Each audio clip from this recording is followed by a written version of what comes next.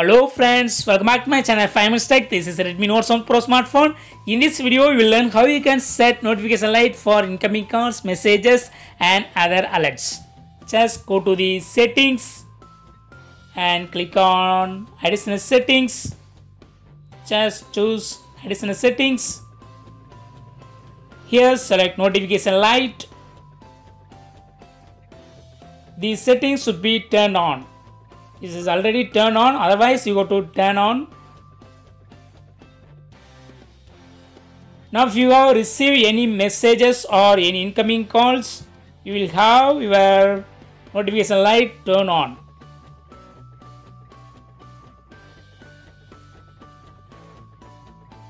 That is if you missed some calls your notification light will be blinking.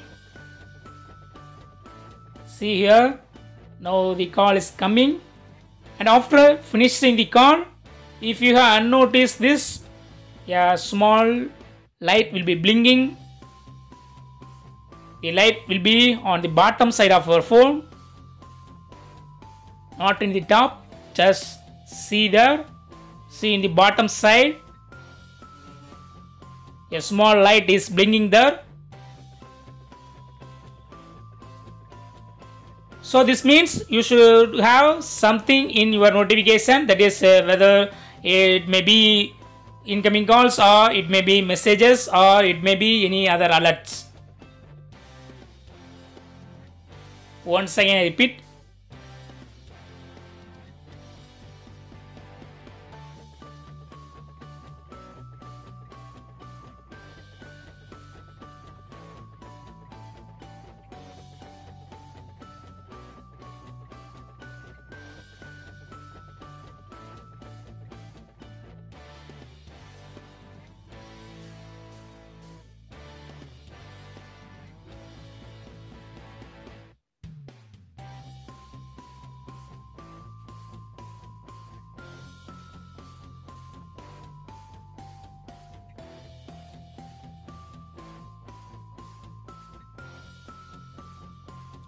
That's all friends. Thanks for watching. Subscribe for more videos. Until then, goodbye.